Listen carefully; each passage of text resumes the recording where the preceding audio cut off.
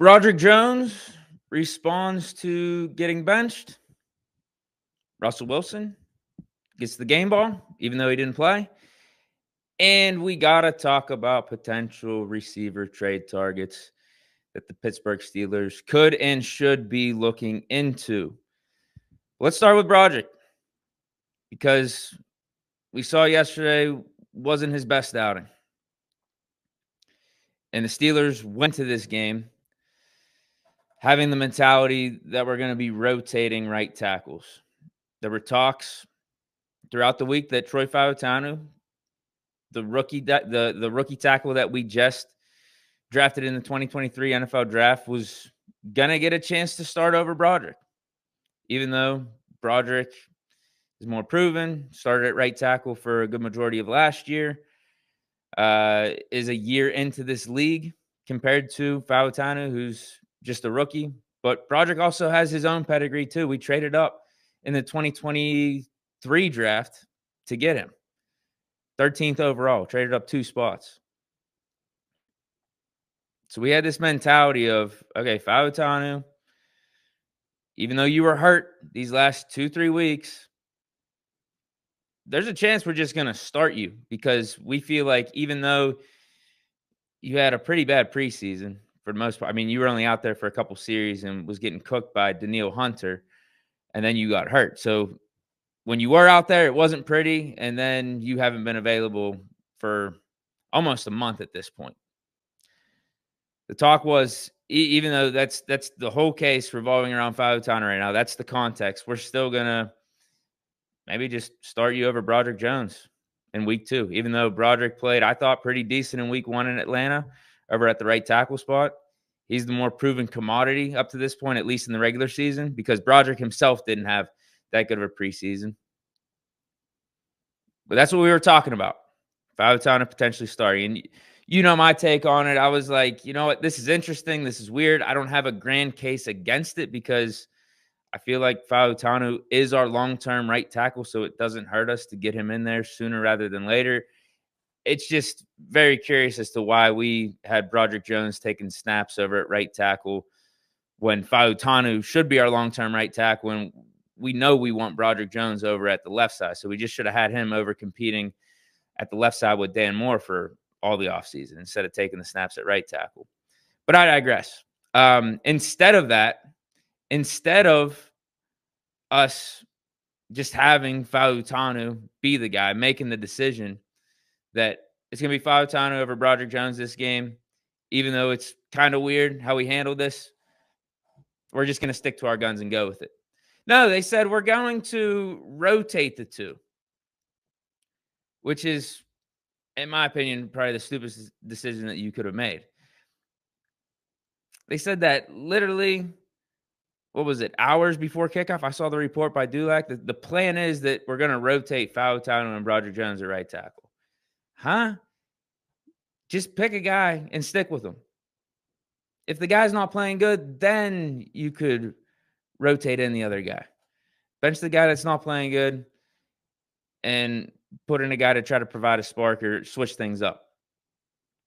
Because in this game, Fautanu actually, we, we went with Fautanu to start he played good the first two series. And for whatever reason, we wanted to put Broderick Jones out there. We we stuck to what we said, and we're going to rotate the guys. And Broderick Jones went out there in the third series, and it was disaster. We benched him and put Fautanu back out there immediately, and he played the rest of the game and played good. Played good. I think PFF graded Fautanu as the best offensive lineman in the game. Fautanu was very solid for us. But I think as fans from the outside looking in, I think it's fair to ask, what does Broderick Jones think about all this, man?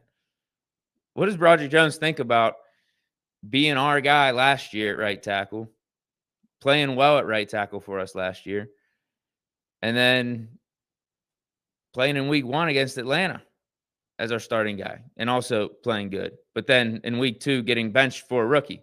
What does he think about all this? So he had some things to say after the game, and he was asked if he was frustrated.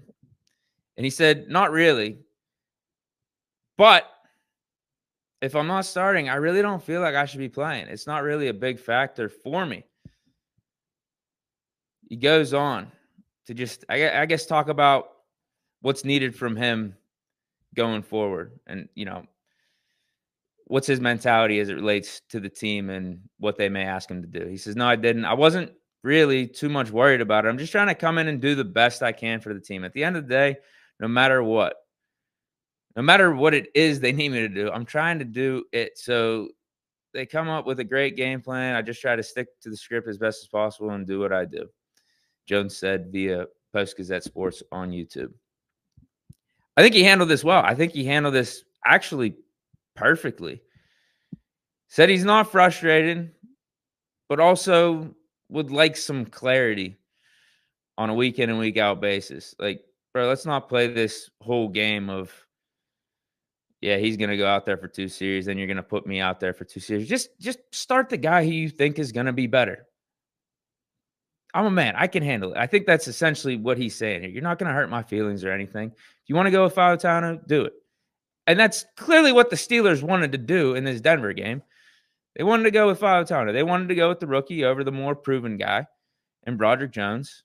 For whatever reason, Steelers must have really saw some awesome things from Fautanu in training camp and OTAs behind the scenes that we weren't privy to because, as I said, Fautanu's preseason wasn't really good. He was out there for a couple series, got cooked, and then got hurt, was unavailable.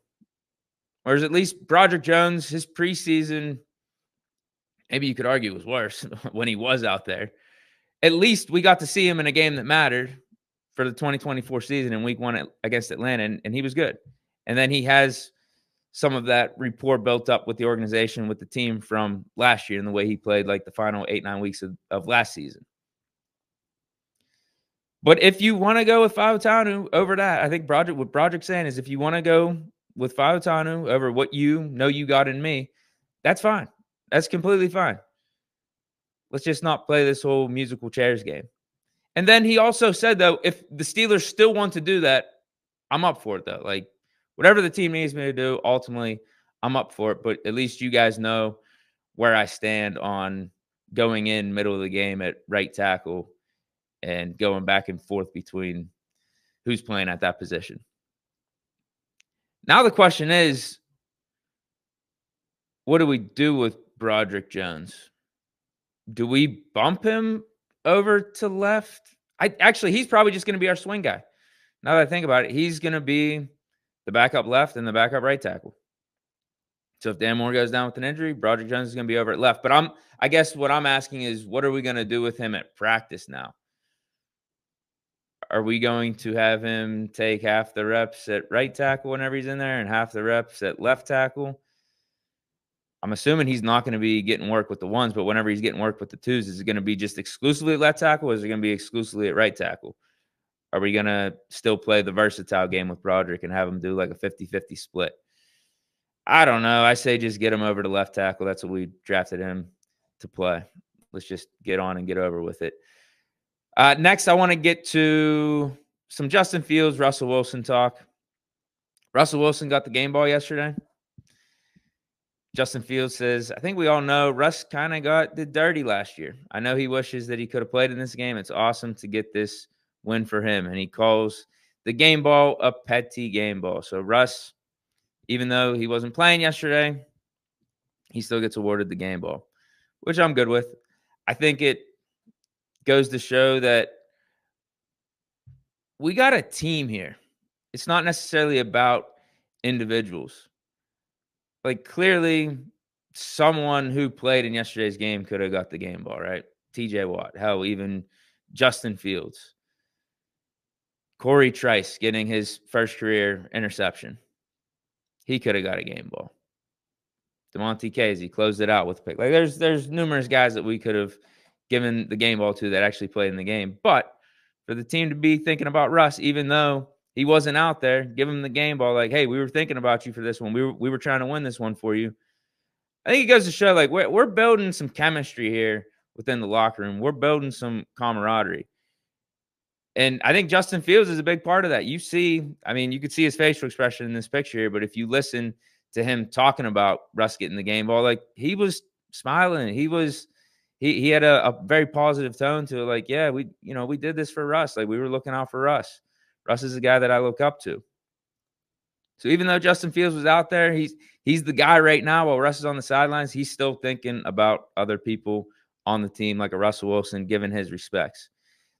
And you notice too how Fields is handling a lot of these interviews and the questions about if he feels like he should be the guy, if he feels like he's done enough to earn the job up to this point. He's just talking about I'm doing whatever I can to help this team win games. I feel confident in everything, but it's whatever the team needs me to do. I'm not looking into all that. That's above my pay grade on who's going to be next week's starter, who's going to be the starter going forward. I'm just taking it a day at a time. Like he's handling this perfectly. He's handling this like a leader. He's handling this like a franchise quarterback should. And you guys know my opinion on it. I talked about it in yesterday's post game. I think whether or not Russ is healthy, Field should be playing in week three.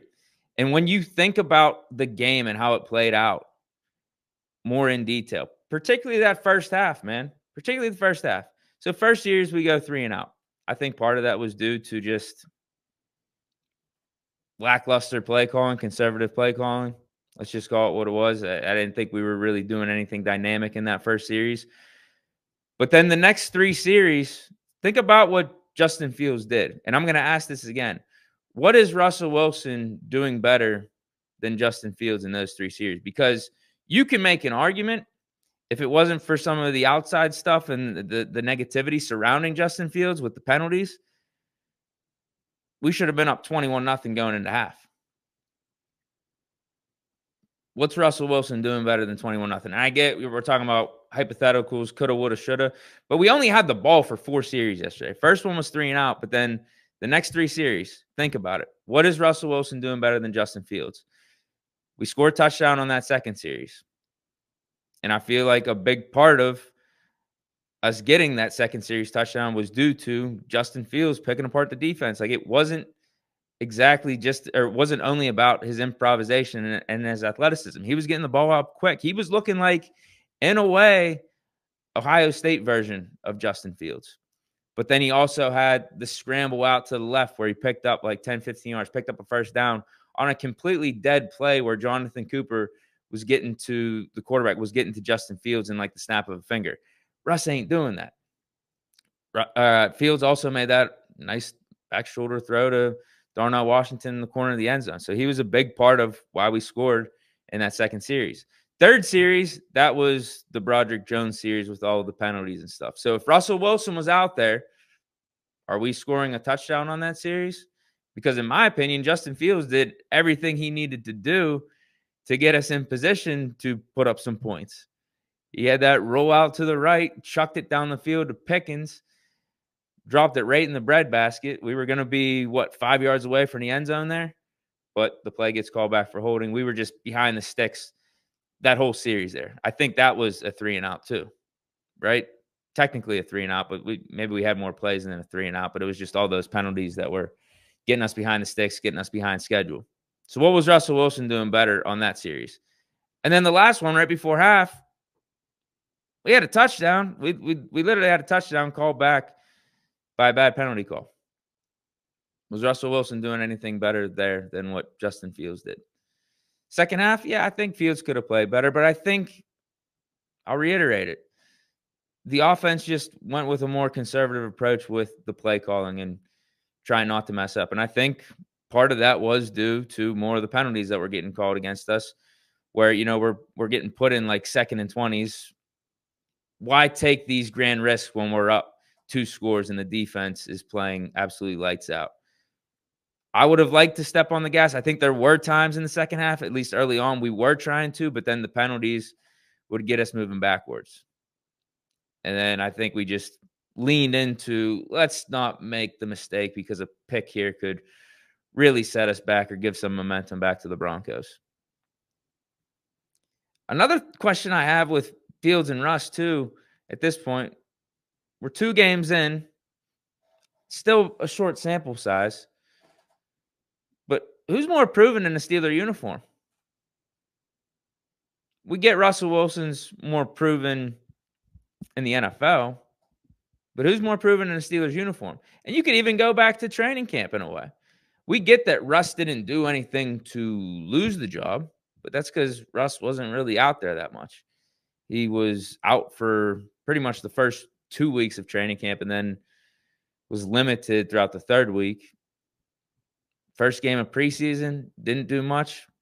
And I admitted he was at least a little bit more steady than what Justin Fields was in that preseason game. Uh, who was that against? Was the second one. That was against the Bills. Fields was a little bit more up and down. But Russ, it's not like we really did that much on offense with Russ out there. At least he was steady. He wasn't putting the ball in harm's way like Fields was in that preseason game. And then the last one, he had a nice drive. He had that really nice throw to Pickens on the third and 13, hands it off to Cordarrelle Patterson. We score a touchdown he was done for the day. But I thought Justin Fields improved in that third preseason game. So that's really all we got from Russ is limited work in training camp and what five or six series in preseason. That's all we have from him in a Steeler uniform. Up to this point, Justin Fields in training camp, he was working majority with the ones. Those first three weeks while Russ was hurt and limited, Fields was working with the ones. He was working with the ones in the first preseason game. And then we get to see him in actual games that matter, though. So, as I'm even talking about training camp and preseason, yeah, that stuff really doesn't matter when you start to get tape on regular season games. Because that's what really matters up to this point. Because after the regular season, the playoffs are what really matters, and so on and so forth. But right now, how is Russell Wilson even more proven? How like how how do you necessarily feel more comfortable, like automatically more comfortable that Russell Wilson is going to do a better jobs than better job than Justin Fields the next game or whenever Russell Wilson is fully healthy? How do you feel that confident? How how do you know that it's that much of a guarantee up to this point? Because we haven't seen Russ out there in the Arthur Smith system. We haven't seen Russ out there with Pickens, with the offensive talent that we got right now, with this offensive line. What makes you think Russell Wilson automatically is going to do better than what Justin Fields has done these first two weeks? I don't think you can automatically say that. I don't think you can, particularly in yesterday's game where there was some pressure on Justin Fields. There were some plays where he had to roll out and make some things happen on his own when things were crashing down against him. Like you got to think both of these dudes are both new to this team, this organization, and it's for a reason. Like I think Russ's years in Denver, his first one, he was hurt, he was banged up. That's why it was pretty dismal. But it, last year, yeah, you could you could argue one way or another, underrated, overrated, whatever. But like, there's a reason he's here. Denver wanted to move off of him, and honestly, it's looking like that was a mistake up to this point that they moved off of him because Bo Nix really ain't looking like he's it. But anyway, there's a reason he's here for $1 million, right? There's a reason Justin Fields is here. And he got traded for a six round pick. So I don't think it's this thing where Russ is completely above reproach. And no matter what, he has to be the starter when he's fully healthy. We've seen it done to more decorated quarterbacks. We've seen it done to quarterbacks that have a better track record on their given teams. I brought up, uh, I think it was the Tony Romo, Dak Prescott scenario from what I guess at this point, that was like what, 10 years ago, right? Dak Prescott, he gets in there his rookie year. Tony Romo was hurt. Now, there was a bigger sample size with Dak. I think he ended up winning what, like seven or eight games for the Cowboys are went like seven and one, six and one in his first however many starts. So there was more of a sample size up to that point. But that was Tony Romo. Tony Romo, you know, four time Pro Bowler for the Cowboys, has moments, is the guy that the Cowboys paid to be their franchise guy. They stuck with Dak. Um, the 49ers, remember with Alex Smith and Kaepernick? Alex Smith was winning games for the Niners. Alex Smith he was playing good when Harbaugh got there. You know, winning playoff games, like some clutch performances. but he gets hurt for a little time period, and Harbaugh sees what Kaepernick's able to do, and that is win games, but have a higher ceiling, have a higher upside. And they ultimately stick with Kaepernick. They go to the Super Bowl that year and almost win that. I think this is similar, dude. I think this is very similar. Like Fields is showing you what his floor can be. And that is I can I can game manage this. I didn't necessarily show that I could do that with the Bears. I could show you highlights. I could show you the ups and the downs. I could I could show you like a ceiling, but then I'd show you a pretty bad floor with the Bears. He's showing me some new stuff here. He's showing me that he can have a higher floor. He can protect the ball, at least manage the game, keep us in it for the majority of it, no matter what. He he could do that. Protect the ball and let the defense do their thing. That's at least the floor. But I saw the elite traits on display yesterday. We saw them in glimpses in the first game at, in Atlanta, but I think we even saw it more yesterday. Of man, like this, this type of throw, this type of athleticism, this type of talent. This isn't common. These type of plays that Fields are making, like this isn't something you just overlook. So yeah, I think uh, winning buys you time, and that's what Justin Fields is doing as the starting quarterback for the Steelers. It buys you time while you and the offense can get things together and develop, and maybe even show what the ceiling and the upside can be while you're in there. I say stick with Fields, man. I say stick with them, no matter if Russ is healthy or not. But I'm guessing Russ isn't even going to be good for this week. I don't even think Russ is going to be available anyway. So we're going to see Justin Fields for another one here against the best opponent we've played. We're going to be playing thus far this season in the LA Chargers. Excited for that. I say stick with him. And if he has a similar performance to what he did this week or what he did in Atlanta, I mean, I'd argue if he had a similar performance to what he did in Denver, maybe we have more points on the board because we have less penalties. I think the reason we didn't have more points on the board was actually due to the penalties, not due to Justin Fields. So if Justin Fields replicates what he did in Denver, maybe we have 21 points, 24 points. Because I think Fields took a step up from that from that Atlanta game to the Denver game. The stats aren't necessarily going to show it. The the final score isn't necessarily going to show it. But if you watch the game, and saw the plays that Fields was making, there was some more dynamic stuff than what we saw in Atlanta. Let me check in with the chat before we get into some of these receiver trades. See who's tuning in. Big shout out to the chat. Big shout out for everyone stopping through. Dre Jones, 121, agrees with me, says he looked better than game one. Clausen AZ 520 agrees with me. It looks like we got some people that know ball in the chat that just doesn't look at the box score. Says he definitely was a step up. Lord Dre 10, what's your take on Broderick not playing on the left side? Eh, I'm not the biggest fan of how we handled it, to be honest.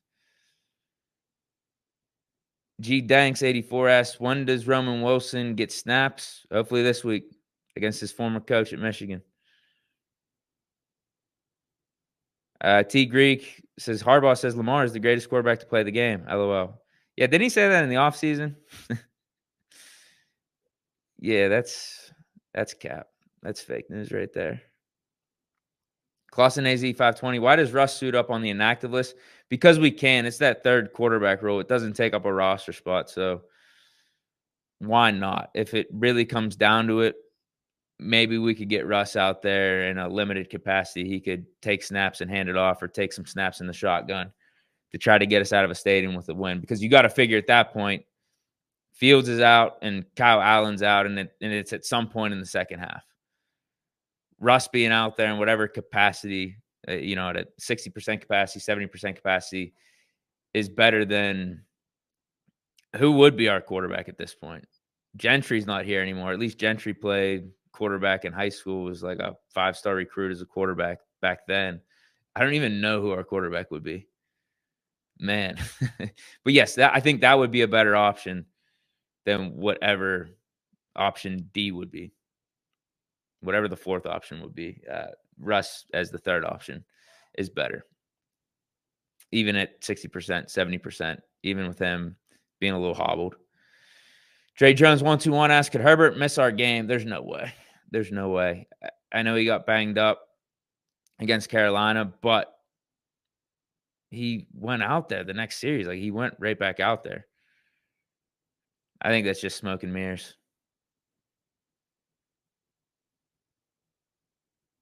G Danks 84 has a counterpoint, it looks like, to me talking up fields. He says, I think Russ's experience in decision making is better, but since our receiving corps and O line isn't elite, Fields gives us the run advantage. Okay, so the first part of that statement. Yeah, I think I I don't think that's far off. Actually, no, I think in a way we kind of agree. The thing is, I think Fields has shown his decision making is on point. At least for 2024, his decision making in these first two games, I think, has been pretty damn good. When we've asked him to be a pocket passer, when we've asked him to like pick apart the defense from a passing standpoint, he's been able to do that. When he's needed to tuck and run and improvise, he's done that. He hasn't thrown any balls in harm's way like that. He's he's thrown a ball that's maybe contested where it's up to the receiver to make a play, but he hasn't thrown one right at the defense's helmet or right at the defense's chest. I think his decision making has been good. But yes, if you want to go historically, yes, you could say Russell Wilson's decision making is better. And the you know the experience that he can bring, particularly like late in games, that type of savviness, you, you could rely on with Russ. But in a Steeler uniform, from like a, a complete game standpoint, how are we guaranteeing Russ is automatically going to be better? And the stuff that we could say that we feel better about with Russ, the decision making, and maybe that fourth quarter stuff, the clutch stuff, I'm willing to give Fields another chance, another week. Let him increase his sample size to see if he's capable of doing that type of stuff. And I think so far with the decision making, he's getting there for sure. We we haven't had to see him do a game winning drive or a fourth quarter comeback just yet. But I'm willing to let it play out and give Fields that opportunity to see what he can do in those moments. That's what I'm interested in because we are, no matter how you want to spin it, we're winning games with him being out there. So, in my opinion, that buys him time. That buys him more opportunities.